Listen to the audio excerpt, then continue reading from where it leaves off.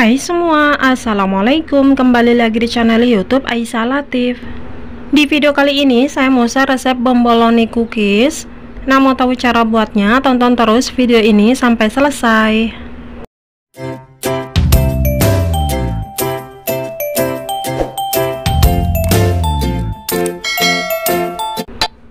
Pertama, siapkan wadah lalu masukkan 100 gram margarin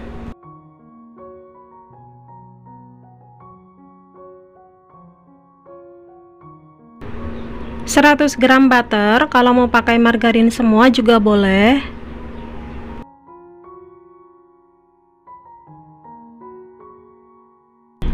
90 gram gula halus tapi ini mau saya ayak dulu supaya tidak bergerindil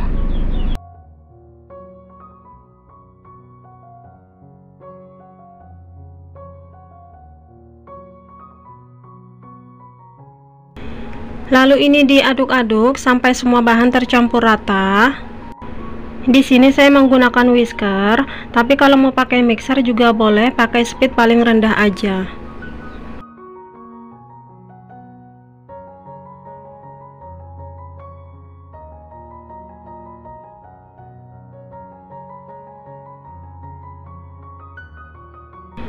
Nah kalau sudah tercampur rata dan creamy seperti ini sudah cukup Lalu tambahkan 2 butir kuning telur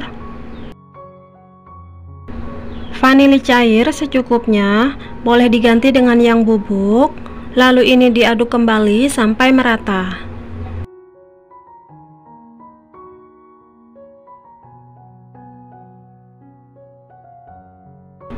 Lanjut tambahkan 20 gram susu bubuk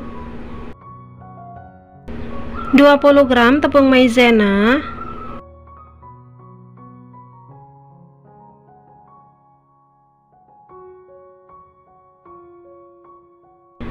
Lalu ini diaduk kembali sampai merata.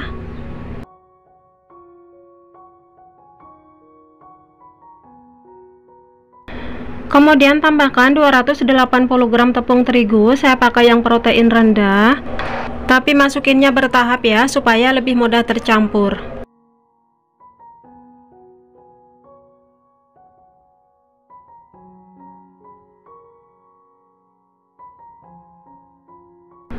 Masukkan kembali sisa tepungnya, lakukan terus seperti itu sampai selesai.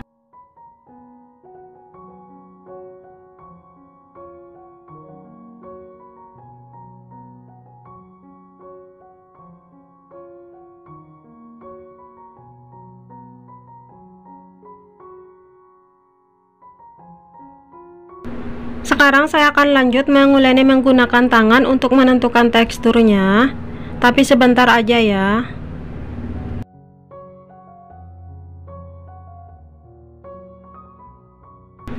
Nah seperti ini aja sudah cukup Yang penting sudah bisa dibentuk Sekarang ini mau saya cetak. Di sini saya menggunakan sendok takar ukuran 7,5 gram.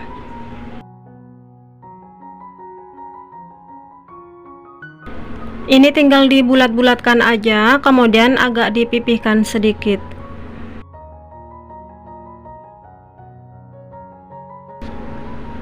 Jadi hasilnya seperti ini. Halus banget. Oke lakukan terus seperti itu sampai selesai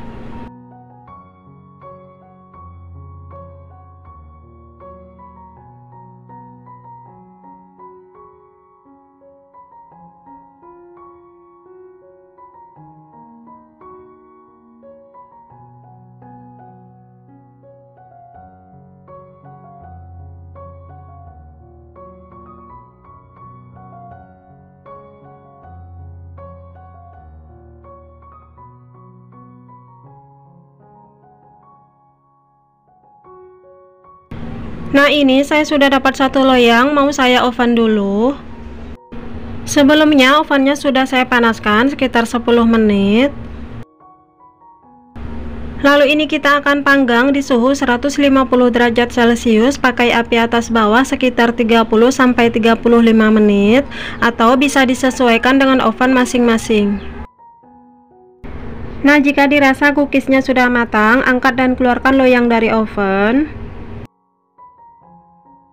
Lalu ini kita diamkan dulu sampai dingin sambil nunggu yang lainnya matang. Nah ini hasil keseluruhan yang sudah matang semua. Dapatnya tiga loyang. Sekarang saya mau lelehkan dulu coklat batang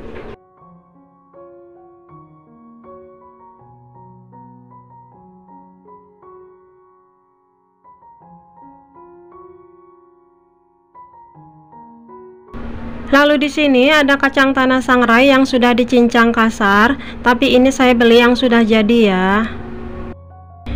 Nah, kalau cookiesnya sudah dingin, saatnya kita celupkan ke dalam coklat, tapi nyelupinnya sedikit aja ya, separuh.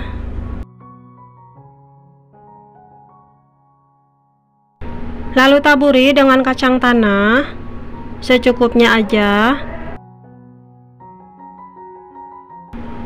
Oke, lakukan terus seperti itu sampai selesai. Untuk pilihan coklat bisa disesuaikan dengan selera masing-masing ya.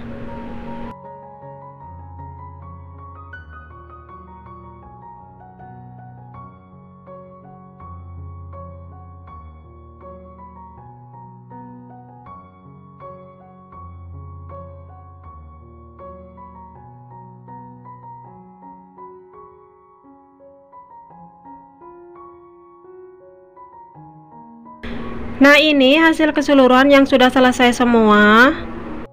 Hasilnya cantik dan menggoda selera banget. Sekarang saya mau coba dulu. Rasanya enak, manis tapi nggak terlalu manis banget. Dipadu dengan kacang dan coklat membuat cookies ini jadi lebih istimewa. Cocok banget untuk dijadikan ide jualan atau isian toples pada saat lebaran. Oke, sekian dulu video dari saya. Jangan lupa untuk like, komen, dan subscribe. Aktifkan tombol loncengnya agar tidak ketinggalan video selanjutnya dari kami. Terima kasih.